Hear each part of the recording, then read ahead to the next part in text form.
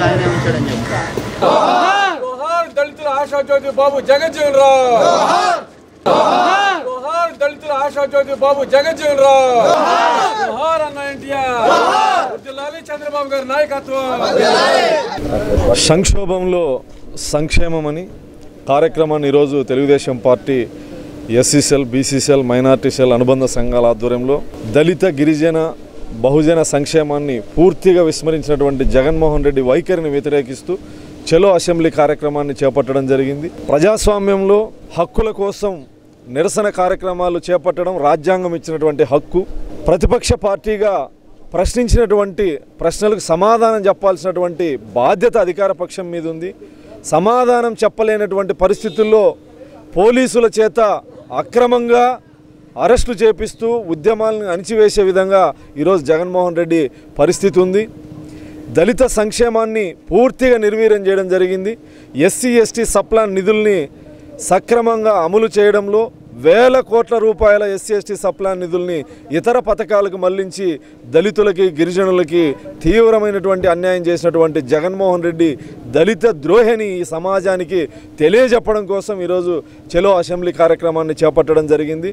వేల మంది పోలీసుల చేత రాష్ట్ర వ్యాప్తంగా తెలుగుదేశం పార్టీ అనుబంధ సంఘాల నాయకుల్ని అరెస్టులు చేపిస్తూ అరెస్టులు చేపించినప్పటికీ ఎంతోమంది అసెంబ్లీ పరిసర ప్రాంతాలకు చేరుకోవడం జరిగింది. దళిత సంక్షేమం బీసీల సంక్షేమం మైనారిటీల సంక్షేమం గిరిజన సంక్షేమం. ఏ ప్రభుత్వమైనా ఆయా కులాల కార్పొరేషన్ల ద్వారా ఆ- ఆయా వర్గాల ఆర్థిక అభివృద్ధికి భరోసా కల్పించే విధంగా కార్పొరేషన్లు గత ప్రభుత్వంలో ఉండేటివి. ఈ ప్రభుత్వం జగన్మోహన్ రెడ్డి అధికారంలోకి వచ్చిన తర్వాత ఆయా కులాల కార్పొరేషన్లు నిర్వీర్యం చేస్తూ ఒక్క రూపాయి కూడా ఈ మూడు సంవత్సరాల కాలంలో రుణాన్ని మంజూరు చేసినటువంటి పరిస్థితుల్లో బడ్జెట్ పెట్టేటువంటి పరిస్థితుల్లో ఈ ప్రభుత్వం లేదు. ఆయా కార్పొరేషన్ల చైర్మన్ల జీత భత్యాలు కూడా ఇవ్వలేనటువంటి దౌర్భాగ్య పరిస్థితుల్లో ఈరోజు ఈ రాష్ట్ర ప్రభుత్వం ఉంది. అణగారిన వర్గాల హక్కు ఎస్సీ ఎస్టీ సప్లాన్ నిధి అనేది అసెంబ్లీలో కిరణ్ కుమార్ రెడ్డి ముఖ్యమంత్రిగా ఉన్నప్పుడు చంద్రబాబు నాయుడు గారు ప్రతిపక్ష నేతగా ఉన్నప్పుడు చట్టాన్ని చేయడం జరిగింది. ఎస్సీ ఎస్టీ సప్లాన్ నిధులు మా డబ్బులు మా వాడల్లో మా మౌలిక వసతుల్లో మా అభివృద్ధి కోసం కేటాయించాలి అని చెప్పేసి చట్టాన్ని చేయడం జరిగింది. ఆ చట్టాన్ని అతిక్రమించి కూడా ఈరోజు వేల కోట్ల రూపాయలు అమ్మఒడికని ఇతర పథకాలకు మళ్ళించడం జరిగింది. మూడు కార్పొరేషన్లు మాలా మాదిగా రెల్లి కార్పొరేషన్లకి ఒక్క రూపాయి కూడా బడ్జెట్ పెట్టనటువంటి పరిస్థితి. సోషల్ వెల్ఫేర్ డిపార్ట్మెంట్లో ఉన్నటువంటి డీడీల వెహికల్కి డీజిల్ లేనటువంటి పరిస్థితుల్లో ఈరోజు హాస్టల్స్ కానీ సంక్షేమ హాస్టల్స్ కానీ సంక్షేమం సంక్షోభంలో ఉందనడానికి ఇంతకంటే నిదర్శనం లేదు.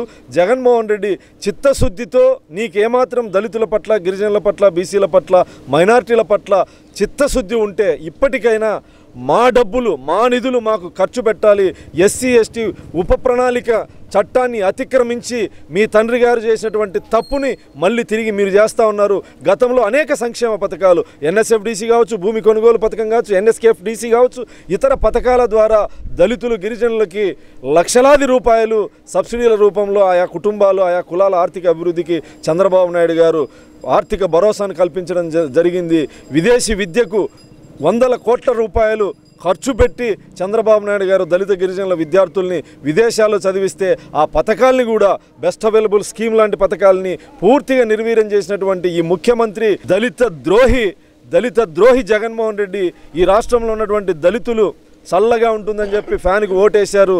ఈరోజు ఈ రాష్ట్రంలోని దళితులు ఆ ఫ్యాన్కి ఊరేసుకునేటువంటి దౌర్భాగ్య పరిస్థితి ఉందని చెప్పి సందర్భంగా తెలియజేస్తూ మా హక్కులు మా చట్టాలు సక్రమంగా అమలు చేసేంత వరకు చంద్రబాబు నాయుడు గారి నాయకత్వంలో తెలుగుదేశం పార్టీ ఆధ్వర్యంలో ఖచ్చితంగా ఉద్యమాలు